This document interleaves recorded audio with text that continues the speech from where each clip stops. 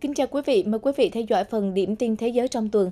Thưa quý vị, ngày 25 tháng 2, Ukraine cho biết nước này và các đối tác có thể mời Nga tham dự hội nghị thượng đỉnh hòa bình trong tương lai để thảo luận về việc chấm dứt cuộc xung đột vốn đã bước sang năm thứ ba. Chánh văn phòng Tổng thống Ukraine Andriy Yermak cho biết sẽ có hai hội nghị thượng đỉnh hòa bình. Hội nghị đầu tiên sẽ được tổ chức ở Thụy Sĩ và đến nay lời mời đã được gửi tới hơn 160 quốc gia. Tại đây, các bên sẽ thảo luận về tầm nhìn hòa bình của Tổng thống Ukraine Volodymyr Zelensky được đưa ra vào tháng 11 năm 2022. Ở hội nghị thứ hai có khả năng Ukraine sẽ mời đại diện của Nga tham dự. Hiện phía Nga chưa đưa ra bình luận gì về động thái nêu trên của Ukraine. Chính phủ Yemen đang nỗ lực ngăn chặn thảm họa môi trường ở Biển Đỏ sau khi lực lượng Houthi tấn công một tàu chở hàng hồi tuần trước, khiến tàu này đang chìm dần và bị rò rỉ dầu. Thông báo ngày 26 tháng 2 của giới chức Yemen cho biết, chính quyền đang thực hiện mọi biện pháp để ứng phó những thảm họa có thể xảy ra khi chiếc tàu chở hàng dài hơn 170 mét bắt đầu rò rỉ dầu. Trước đó, chiếc tàu thuộc sở hữu của Anh, treo cờ Belize, chở hàng nghìn tấn phân bón và dầu đã bị hư hại nghiêm trọng sau khi bị trúng hai tên lửa dẫn đường của lực lượng Houthi hôm 18 tháng 2 khi đang đi qua Biển Đỏ. Thủy thủ đoàn đã được sơ tán an toàn đến Djibouti, chính phủ Yemen cũng đã kêu gọi cộng đồng quốc tế hỗ trợ giải quyết cuộc khủng hoảng môi trường tiềm tàng. Hôm qua, Tổng thư ký NATO Jens Stoltenberg đã khẳng định liên minh quân sự này không có kế hoạch triển khai binh sĩ đến Ukraine, dù đang hỗ trợ chưa từng có cho Kiev trong cuộc xung đột với Nga.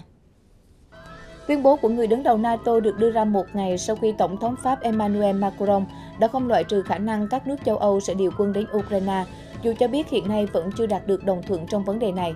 Đề xuất của nhà lãnh đạo Pháp đã dẫn đến một loạt phản ứng từ các nước đồng minh NATO châu Âu trong ngày hôm qua, khi đều tuyên bố không có ý định triển khai quân tại Ukraine. Trong phiên điều trần trước Quốc hội, Ngoại trưởng Pháp Stéphane Sejourné cùng ngày đã giải thích rằng Pháp có thể điều quân đến Ukraine để thực thi những nhiệm vụ rất cụ thể như rà phá bom mìn, phòng thủ mạng, sản xuất vũ khí, nhưng không phải là tham chiến trực tiếp với Nga. Thế giới thải ra 2,3 tỷ tấn rác đô thị trong năm 2023 và con số này có thể tăng hơn 2 phần 3 vào năm 2050. Đây là những ước tính mới được Liên Hợp Quốc đưa ra, cùng với cảnh báo về những tác hại nghiêm trọng về y tế, kinh tế, môi trường mà lượng rác này gây ra. Theo cảnh báo của Liên Hợp Quốc, tình trạng ô nhiễm sẽ ngày càng gia tăng. Dự báo tốc độ tăng rác thải nhanh nhất ở các vùng hiện vẫn xử lý rác thải bằng cách đổ đóng và đốt. Đây đều là những hành động làm tăng khí thải, gây hiệu ứng nhà kính, tăng nguy cơ những chất hóa học độc hại xâm nhập vào đất, nguồn nước và không khí. Nếu không có hành động khẩn cấp đến năm 2050, khối lượng rác thải toàn cầu có thể lên đến 3,8 tỷ tấn, vượt xa các mức dự báo trước đó. Nghiên cứu của Liên Hợp Quốc cũng chỉ ra khối lượng rác kể trên kéo theo gánh nặng kinh tế cao gấp đôi, có thể lên đến 640 tỷ đô la Mỹ vào năm 2050 từ mức 361 tỷ đô la Mỹ năm 2020.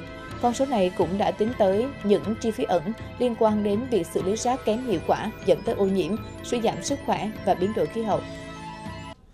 Vừa qua, với việc đồng ý gia hạn một số dự luật tài trợ đến cuối tháng 3, các nhà lãnh đạo Quốc hội Mỹ đã đạt được thỏa thuận ngăn chặn việc chính phủ đóng cửa trong tuần này.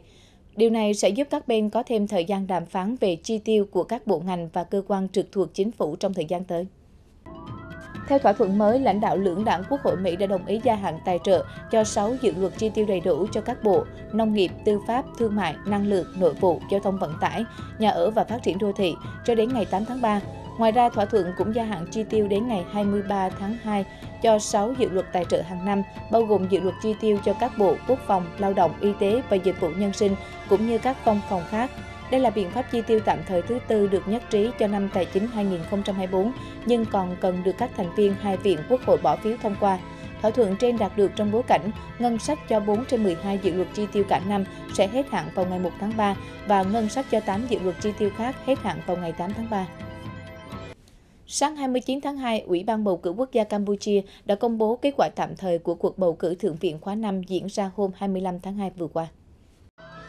Kết quả được công bố cho thấy Đảng Nhân dân Campuchia nhận được hơn 10.000 phiếu, Đảng Ý chí Khmer nhận được gần 1.400 phiếu, Đảng Bảo Hoàng Phân Simpet nhận được 19 phiếu và Đảng Sức mạnh dân tộc nhận được 234 phiếu bầu. Có 31 phiếu không hợp lệ trong tổng số 11.730 phiếu bầu trên phạm vi toàn quốc. Sau khi công bố kết quả tạm thời, Ủy ban bầu cử sẽ tiếp nhận đơn khiếu nại và giải quyết khiếu nại. Trong trường hợp không tán thành, bên khiếu nại có thể khởi kiện lên Hội đồng Hiến pháp Campuchia. Trong trường hợp không có khiếu nại hoặc sớm giải quyết xong các đơn khiếu nại, kết quả chính thức sẽ được công bố vào đầu tháng 3. Thượng viện Campuchia có 62 ghế bằng một nửa số ghế quốc hội đương nhiệm. Các cử tri chỉ bỏ phiếu bầu 58 thượng nghị sĩ. Bốn ghế còn lại có hai ghế do quốc vương Campuchia chỉ định và hai ghế do quốc hội giới thiệu thông qua quy trình lấy phiếu tín nhiệm. Thông tin vừa rồi đã khép lại phần điểm tin thế giới trong tuần của Đài Phát thanh Truyền hình Quảng Nam. Thân ái chào tạm biệt quý vị và các bạn.